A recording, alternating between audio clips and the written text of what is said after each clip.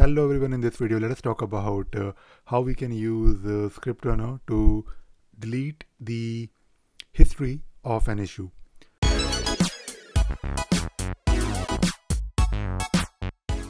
So few months ago we talked about uh, how we can retrieve the history of an issue and of course when you're talking about issue history you can uh, do it uh, from the UI. So if you go to any issue in Jira, uh, you have of course option to work on the issue, but uh, there is this tab at the very bottom under this activity section that will let you view what all has been happening on the issue. So you can see here all the changes, all the updates, uh, and it is quite good to have this history because you want to know, or maybe you want to have some traceability. Now, we also wrote a code, a very small small piece of code where we basically retrieved this uh, history. So let us say if I want to retrieve the same history for my issue Android 126, I can uh, use this piece of code and of course I'll not really spend time uh, on uh, this code. We have already talked about it. So you can have this history here in this nice format and uh, you can of course do it in bulk for multiple issues. You can uh, probably export everything in CSV if you want you can write uh, a script to do it. Now I wanted to talk about in this video how we can remove or delete the history. Maybe uh, you don't want to main maintain the history or maybe you are uh, just making sure that uh, there is no trace.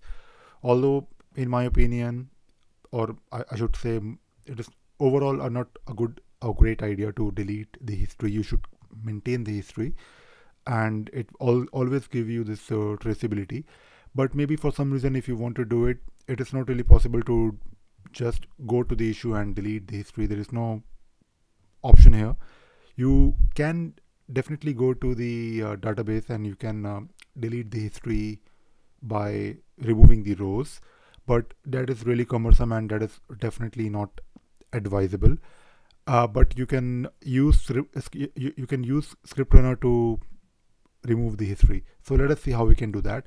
So in the same piece of code where I was basically working with the change history and uh, I, I, I basically defined this variable called change history manager which is uh, trying to get the history of my issue for a, for a specific uh, issue.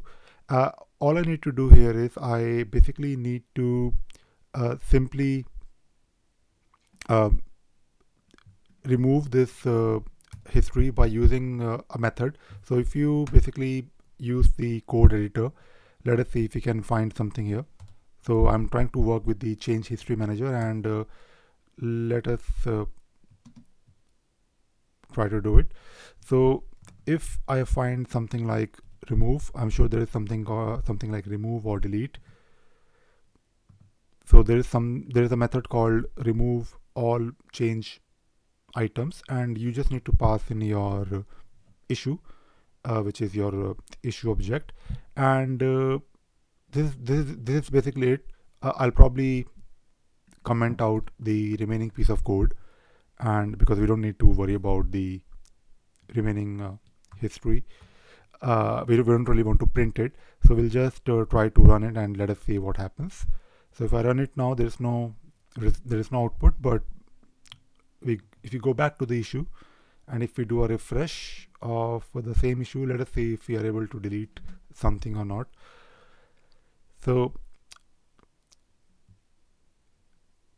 hopefully it worked. Yes it worked. So right now we don't really have any history. So we just have one item here that says uh, issue created. But uh, as you can see using a very simple method remove all change items you can delete the history. So this is all I wanted to share in this video and I hope you enjoyed watching it. Thank you very much.